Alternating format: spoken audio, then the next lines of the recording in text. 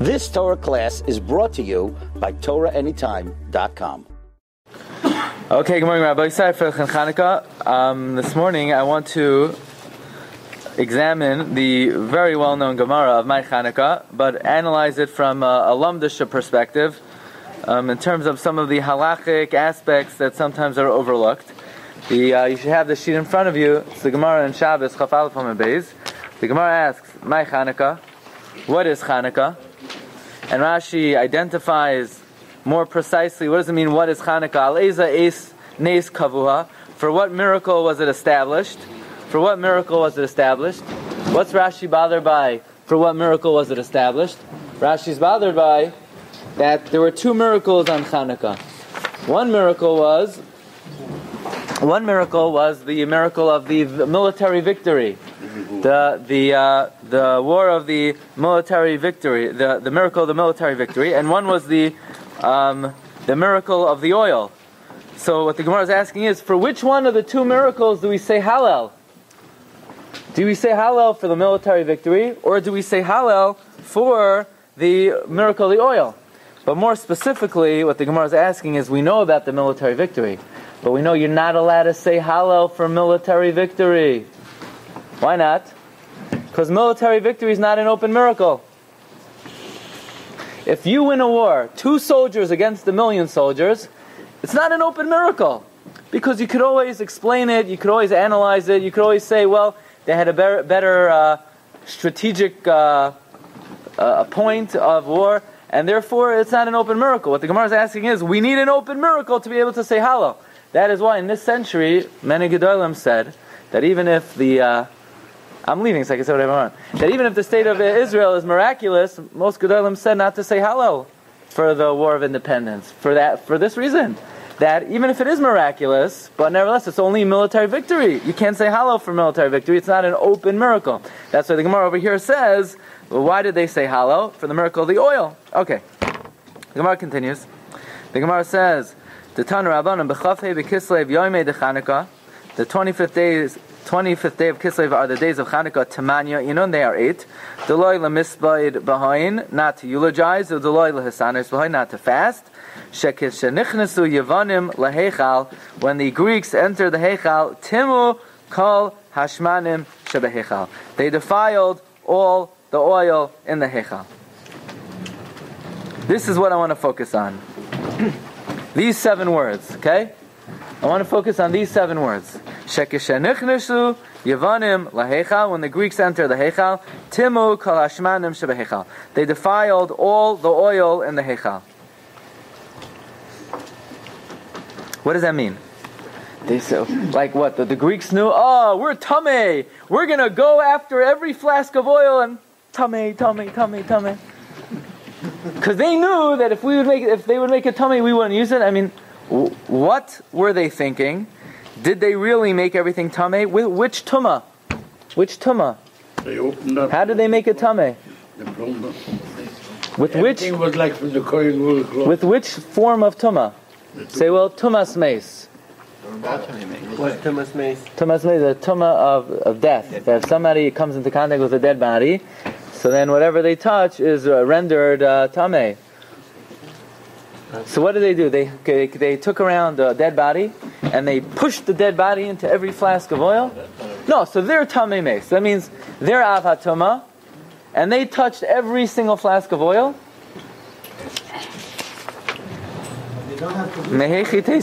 First of all, could a guy be tamei mace? What? Could a guy be tamei mace? Could, no. So, uh, so that's gone.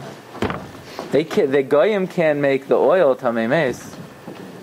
So what tama do they make it? Well, there's a Gemara in Masechta Shabbos that the Talmidei Beisham and Talmidei Beisolal made 18 gezeros. One of the gezeros they made that goyim have a status of a zav. They came out. That if a goy touches something, they have the status of a zav. A zav is a certain type of tuma that if a man emits some, some type of emission from their body, they're a zav. A zav has a din of a uh, tuma. So if a zav touches something, or even if he now they say they didn't stick their finger in the oil. What they opened up every flask and they stuck their finger in the oil. So they stood there the whole day. There's a war going on, and they said, "Wait a second, we're taking a day off today." So, Greeks, why are you taking off? Because we're opening up cans of oil and we're sticking our fingers in them. I guarantee you that didn't happen. The answer is that Heset is considered Negias Kol Gufay. Which means if you move something, it's considered like you touched it. Yeah? They Yeah, were two- even if it's sealed. Because moving it is like touching the whole thing. Because you, you are touching the whole thing. What'd you say? Yeah, but I'm not talking about Beisham. I'm talking about the Talmidim of Beishamai. That's even. Oh, even further. Very good. okay, so the Gemara in Shabbos says the Talmidim of Beisham Beis Hillel made a gezerah that whatever goyim touch, uh, what goyim have a status of a zav, and therefore uh, Heset is like moving is like Negias Kol Gufa is like touching the whole thing, and therefore you would have to say that the tuma that these goyim rendered on the uh, on the shmanim was tumas zav, was the tuma of a zav. So one second. would be two So how do they have one flask of oil? How do you know? Again, we're saying that that they just moved. They didn't touch it because it's illogical to say they opened up every can and they stuck their finger in it. Imagine goyim walking around opening up cans, sticking their pinky. They didn't do that. So then what they do? They must have moved it. So if they must have moved it, then what do you mean? They found one flask of oil that still had the signet of the Kohen Gadol. Who cares? Maybe the guy moved it. If the way they render tumah is by moving it, maybe they move that flask, even if it's sealed. Because halach is if you move something, even if it's sealed, it's like touching it. So Tosfos says over here, Tosfos says like this: I'm not sure if this decree that goyim have a status of a zav went into effect yet, but if it did go into effect, you have to say that this flask of oil they found in the ground, and they found it like, like buried in the ground in a way that we, we know we know they didn't move it. Okay, but that means all the other flasks we we assume they moved. Now let me ask you a question. Do we know for sure they moved it? Oh, oh okay. okay. So let's come to one thing. This decree that goyim have a status of a zav, when who made it? The Talmidim Beisham Beis Hillel. Who are the Talmidim Beisham Beis Hillel? Talmidim Beisham Beis Hillel are Shimon, Gamliel, and Shimon. They were Nasiya Yisrael. When were they the Nasiim? A hundred years before Bayis Sheni. That's what the Gemara says in the Sechta Shabbos that the the Nasiim, that Shimon, Gamliel, and Shimon, they were Nahag Nasiyusam Lefnei Habayis, 100 years. The miracle of Hanukkah, how many years did it happen before the destruction of the second base Hamikdash? 206. 206 years, the Gemara says, not by the Zara. Why? What's the cheshbon? This was for Malchus only lasted 103 years, and Malchus Very good. Chashmonaim lasted 103 years, and Malchus Hordis lasted 103 years. Okay? So the Hanukkah miracle was 206 years before Churban Bayesheni, and the decree that Goyim have a status of a Zav was 100 years later. Actually, 106 years later. So that means, what, what's going on here? What do you mean the Yavanim were matame, all the Chashmanim, all the Ishmanim in the Heichal? How are they matame it? Because they're Goyim, and Goyim have the status of a Zav. But Goyim will not have the status of a Zav, not for another 106 years. Okay, so this is a kasha of the Pri Chadash. Got the kasha? The whole way they were matame it was Tumazav, that's a, a, a Gzer Drabanan that did not go into effect yet. Okay, so the Pri Chadash gives two answers. By the way, this is all by way of introduction to what we're going to talk about today. Pri Chadash says, that Avada, there was always a decree that Goyim have a status of a Zav regarding Kachim. Regarding sacrificial property, Goyim always have the status of a Zav. It's the, the Talmidei Beisham and Beis Hillel, they furthered the decree, and they extended it even to Truma. But even before, even before the, the Yurches uh, Gezerah, the Yurches Gezeros, they already decreed a hundred years earlier that Goyim have a status of a Zav for Kachim. Goyim always had the status of a Zav. Or, says the Pri Chadash, Goyim always had the status of a Zav even for Truma. It's just that a hundred years later they decreed that it's such a strong Gezerah we will even burn Truma because goyim have a status of a zav. Okay, so bottom line is the tuma that we are dealing with is tuma derabanan. What's the tuma derabanan? That the rabbanan were goyzer that goyim have the status of a zav. Okay, that means if you're speaking to a Gentile and they emit some of their roik, roik is spittle, and it lands on you, you now become tummy. That's why in the times of the Gemara, the Amoraim would not speak to Amei Haaretz. They wouldn't even go near them. They would not go within Dalit Amos of Amos. Why? Because they made a decree that Amei Haaretz also have a status of a Zav. And the thing is, if the Amoretz speaks to you and gets a little bit too close for comfort, then he's going to make you tummy. So tummy chachamim, they kept their distance, or they had special. I don't know what. No, they had shield, but then uh, they didn't have those back then, so they would not speak to Amei Haaretz. Okay. By the regular soldiers, the Yevonim, they were to they were on the bed Right. alone. The thing So is- automatic to me. But It's got goyim, nothing to do with. goyim can become tamei mace. They cannot. They're not tamei. Well, what- What's the problem to take some fighting. uh, Chiloni and put him inside the Beit HaMikdash and solve the problem? What do you mean? Like to make it very quick. How? The, the Greek will take him and put him in Beit HaMikdash to make everything tameh. You mean they took a Jew and they said, Jew, open up every little thing of oil. I mean, just to get the seven things from that box over there, it takes 20 minutes. You, who, you think somebody, you think somebody went into the, to the, to the oitzer and stuck his finger in each one? Okay. So that's, so this whole, the whole Hanukkah is because the Yavanim were matame, the oils with which Tuma, Tuma Drabanan. So ask the Chassam Sofer, Tuma Drabanan. So I have a very simple answer. Why didn't the Rabbanon say, why didn't the Rabbanon say, you know what, we made a gzera that all the oil is tameh, we're not going to uphold our gzera because otherwise the whole avodah is going to be nisbatel. So you know, maybe we'll, uh, we'll, for one year we'll say the gzera is off. After all, there's no Tumah Dairaisa we're dealing with, only dealing with rabbinic decree. So because of rabbinic decree, we're going to shut down the Beis HaMikdash. And Hashem needs to make a miracle because Gzer Drabanan. So says Chassam Sofer, yeah, you see from Hanukkah, the whole miracle of Hanukkah was only to be able to preserve a din derabanan. Could it not been for din derabanan, you could have just used the oil. You- there- there's nothing to worry about. The fact that Hashem made a miracle that the oil, which was enough to last for one day, lasted for eight days, was to show everybody how important the Gezeros derabanan are, how the Dine derabanan are. Because otherwise, we could have just said, you know what, let's overlook the din derabanan for one year. The whole miracle of Hanukkah is to uphold Dine Mizbeach. Yeah. That's because uh, Mizbeach Shiktsu Hayavanim. That they, they, they, they, they may have used it for Avodah Zarah. Okay. But now this is where I want to get to. So they were matame all the shmanim in the hechal. How do we know? Well, we caught them on camera going to every single oil. That, that means they went to every jug and they moved it. How do we know they moved every jug? You saw it on the video? Maybe special seal. How do we know? Production date. What? Maybe they have a- How do we know? The answer is we don't know.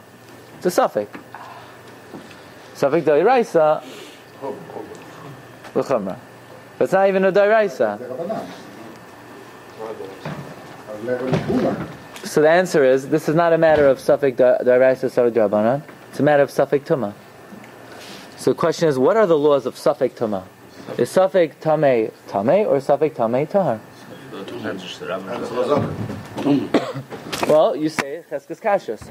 Well, there's a rule. Safek tuma b'rshus harabim, tahar. Safek tuma b'rshus hayachid, tame. So the question is, what is the Beis Hamikdash? Is the Beis Hamikdash b'rshus harabim? Beis Hamikdash b'rshus hayachid. You think it's a You would think it's a Shus Harabim. Anybody could go there. Could anybody go there? No, when it's We learn how to talking, use that's it. The Heichal, you have to be a Kohen to go there. The Echad, yeah, but some others say, yeah. The Azara, anyone could go. So the question is, where did they store the oil? If they stored the oil in the Heichal, then since we don't know what happened, we would say Safek Toma B'Shus Hayachid Tameh. If they stored the the oil in the Azara, that's Rishus Harabim, then we should say Safek Toma B'Shus Harabim Tahar. So you have on your sheet the Gemara in Masechta Shabbos, and you have all the way on the bottom of the page, you have the Gilyan Hashas. You see it? You see the Gilyan Hashas? All the way on the bottom of the page in little, little letters. Okay? The Gilyon Hashas are Rabbi Akiva Eger's footnotes on the Gemara. And Rabbi Akiva Eger says, Ayin Berambam, Parakeh Mehilchas Beisabachira, Halacha Ches. Says Rabbi Akiva Eger, look in the Rambam in the fifth parak of the of Hilchas Beis Hamikdash, Halacha Ches. And you know what it says over there? It says over there that there were four chambers in the Azara. One of the chambers was called Lishkas Beis Shemanya, the chamber of the oil. And this chamber was located where?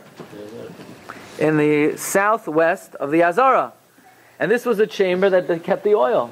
So if the chamber that they kept the oil was in the Azara, and the Azara is a Shus Harabim, what Rabbi Kiva Eger is Bamerking, what Rabbi Kiva Eger is, is pointing out, is that how could the Gemara say when the Ivanim entered the Heichal, they were matame all the oil in the Heichal, but where did they store the oil? They didn't store it in the Heichal. They stored it in the Azara. How do we know? Says Rabbi Kiva look in the Rambam. The Rambam says the Lishkas base Shemanya was stored in the Azara, and therefore Rabbi Kiva bothered by is why did they? Why are we worried they're matami the oil? We didn't see it. It's a safek. Safek tuma b'shus harabim tahar.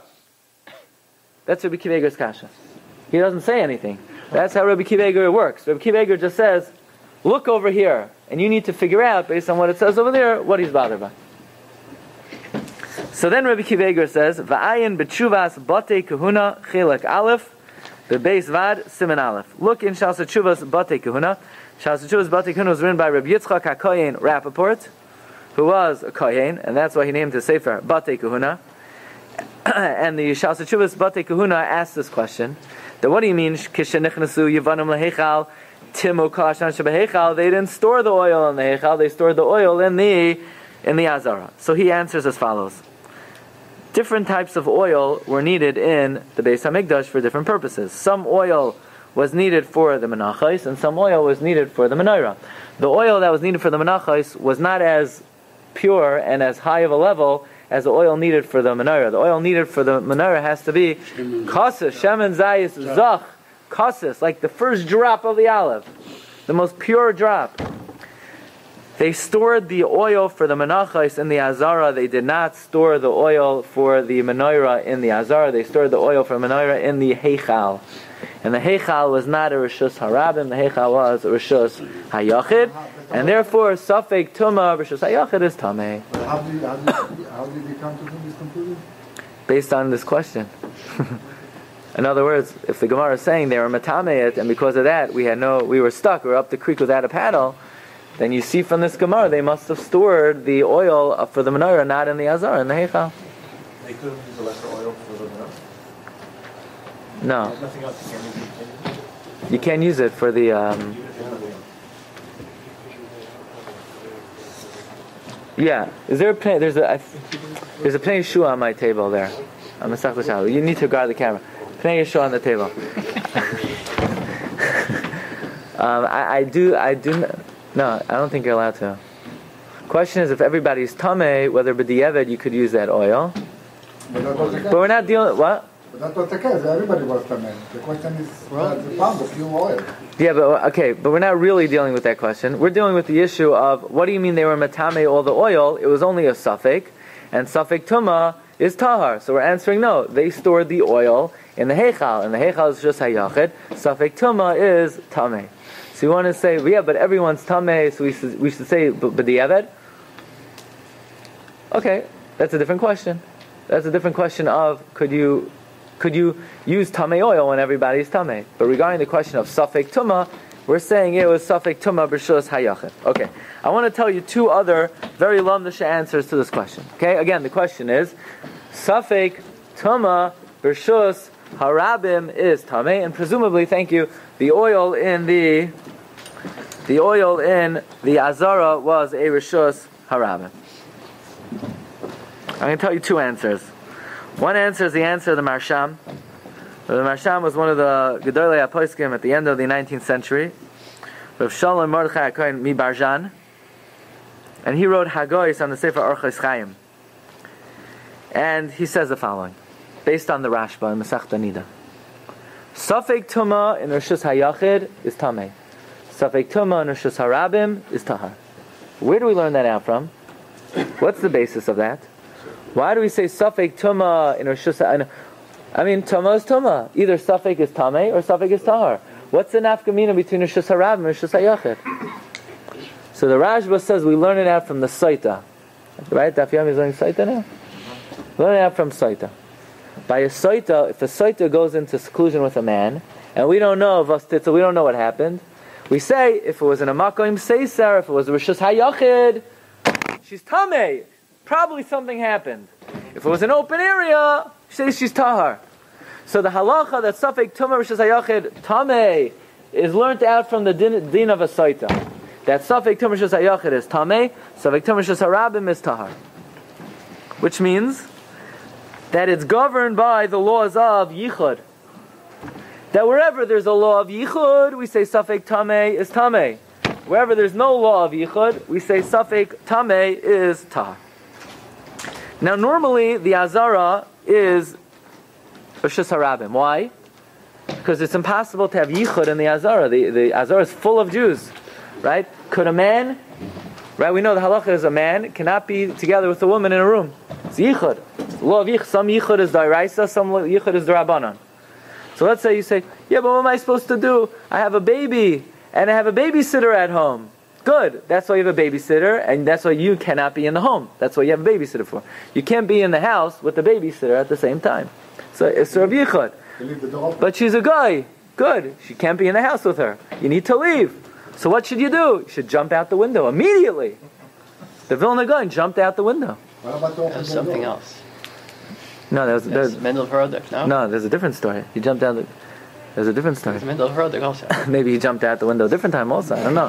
but but um, you, could open the door. Then it's not yichud. You could open the door. Fine. So the azara is usually shusaram. Why? Because it's full of Jews. But but but when the Yavanim entered the Heichal, it was not full of Jews. Who was it full of? It was full of Greeks. Is a woman allowed to be miyached? Let's say, let's say you have two men and one woman. You're allowed to. Two men and one woman is permitted. One man, two women is not permitted. What about 20 goyim and one woman? So, no way. not a chance. What do you mean? 20 Jews and one woman is mutter? Yeah, because they remind each other. Yeah, but 20 goyim and one woman, they also remind each other, but they remind each other something else. Okay? So 20 goyim and so when the Yavanim entered the Heichal, when the Yavanim entered the Heichal, it had a din of Yichud. So even though there were hundreds of goyim there, it was like Rishus Hayachid, Safek Tuma was Tameh. That's the answer of the Marsham. It's a goinistic answer. Normally, the Azara is Rishus Harabim. Why? Because it's full of Yidden. But when the Yavanim entered in, it was full of goyim. Once Yavanim entered in, it had a status of a place where there's Yichud. Once it has status of a place of Yichud, it has a din of a Rishus Ha Yachid. The only works that there are no. Misyavnim also. Even though, uh, even though, even if they're not firm, we still, we still say, It depends. If they're mamish misyavnim apikorsim, then uh... okay. One more answer.